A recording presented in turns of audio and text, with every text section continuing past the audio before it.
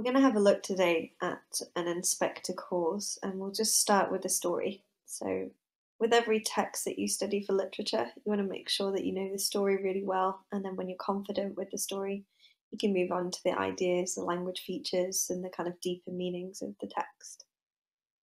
So always start with the story. Even if you've not read the full text yet, it's good to give yourself a summary because it's not really about kind of unfolding the story in front of you when you do literature. It's more about understanding how everything fits together and what the point of it is and the meaning. So it's not cheating to actually give yourself an idea of the story before you've even read the actual text, or in this case, seen the play. So an inspector calls is a three act structure. That's quite normal for plays. Uh, most plays are kind of three acts or five acts. And it's all set in the same location. So it's set in the Birlings household. they're having an engagement party for Sheila and Gerald. So we'll have a look at Act One first.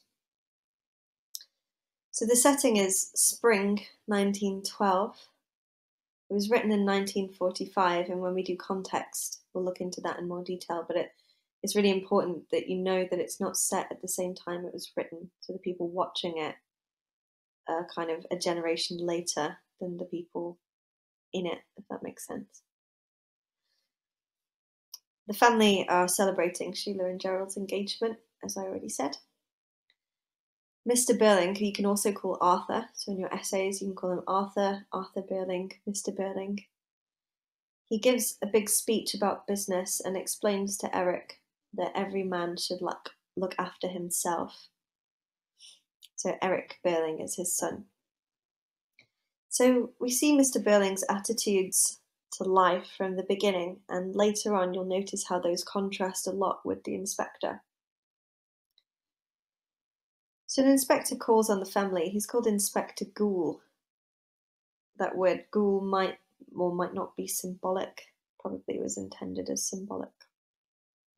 He says a woman has committed suicide and he's investigating the circumstances of her death.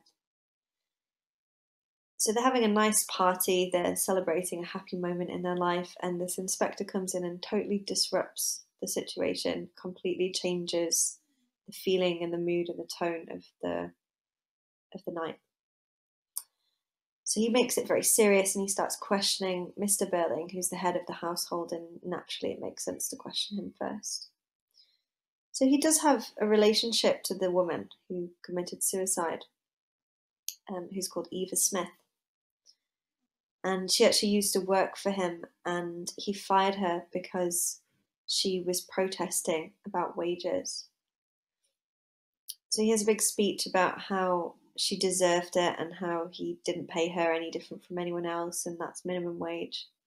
And he refuses to accept any responsibility for her death. So he admits to knowing her, admits to firing her, refuses to accept any responsibility. So then at the end of Act One, we shift to Sheila, who's the daughter of the Burling family.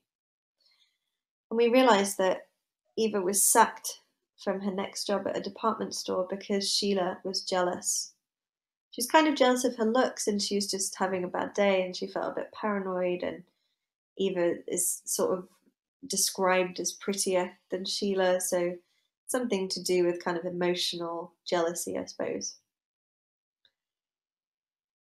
So Sheila's kind of horrified that she did this, but she does admit to getting Eva sacked. And then the end of Act One, the inspector tells the family that Eva changed her name to Daisy Renton, and Gerald seems very shocked.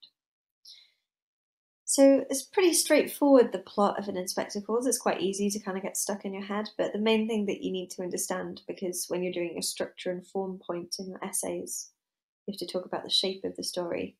So the main thing you need to understand is the sequence of events. So what happens in what order. So Birling, Mr. Birling first, then Sheila, and the whole time, hopefully, you can see how this plot is building tension. So it's getting more and more confusing and dramatic.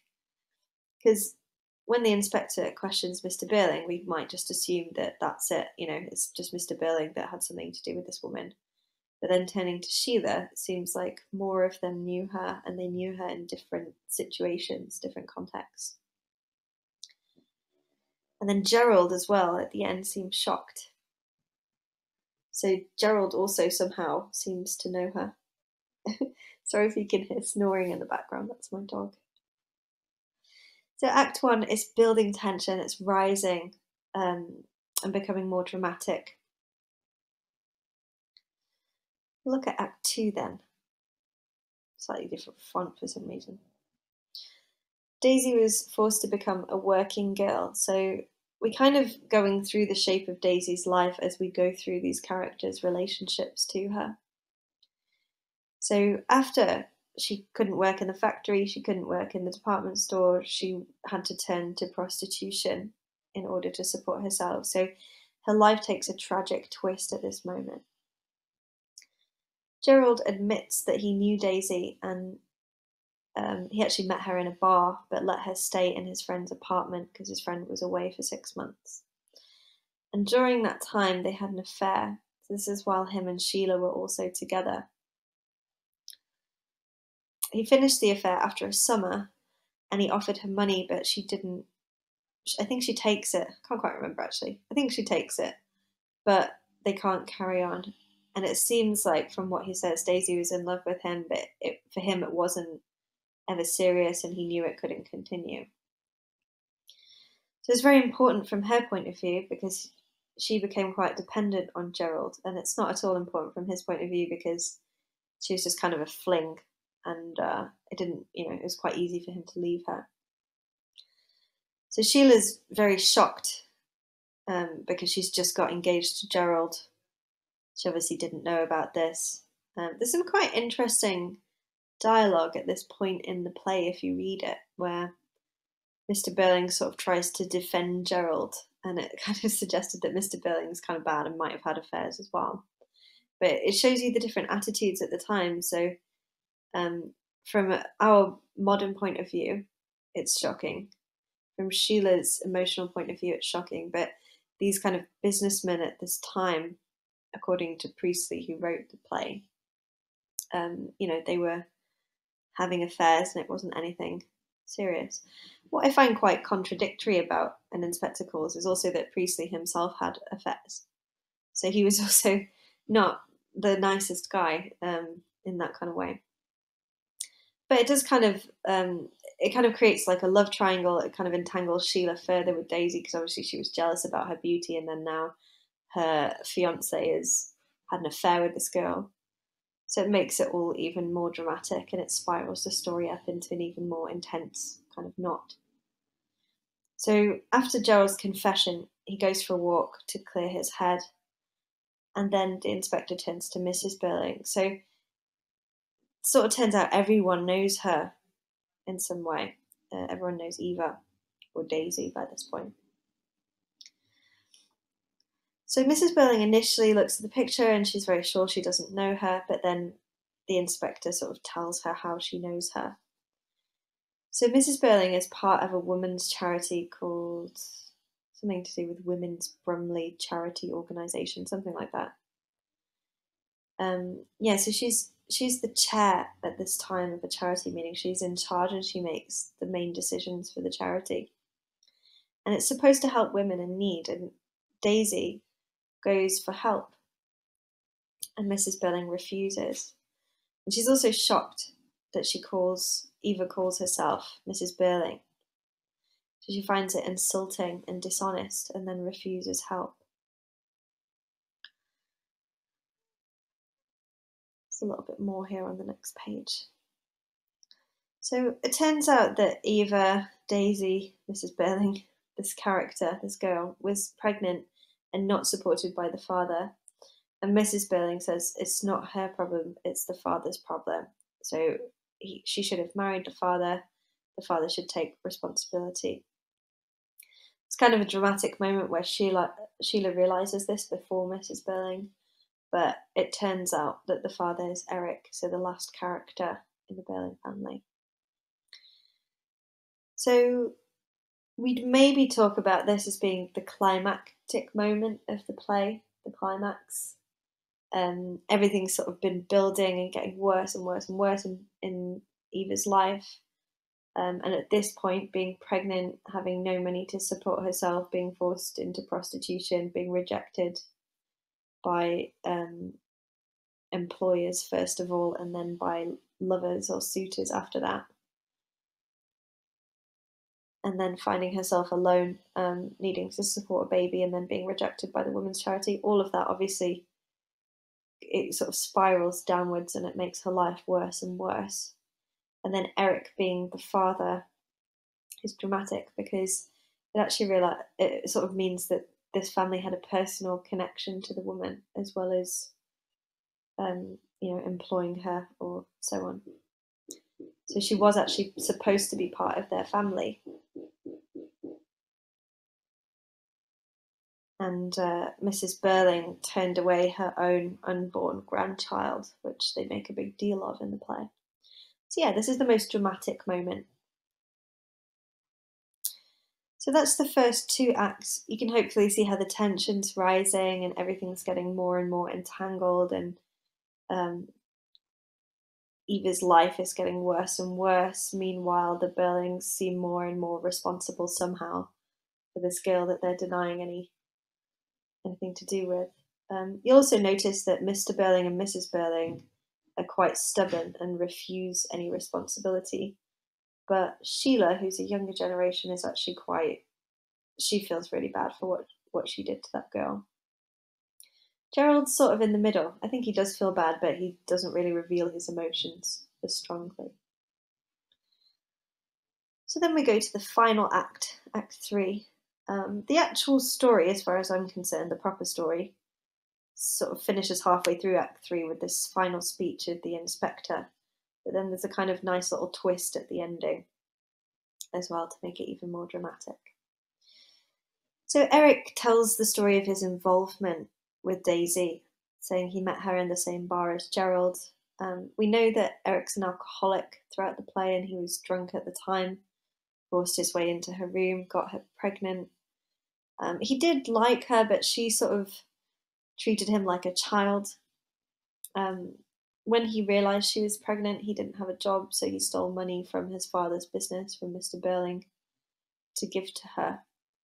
And when she realized it was stolen, she got shocked and refused to accept any more help, which is why she ended up at the women's charity.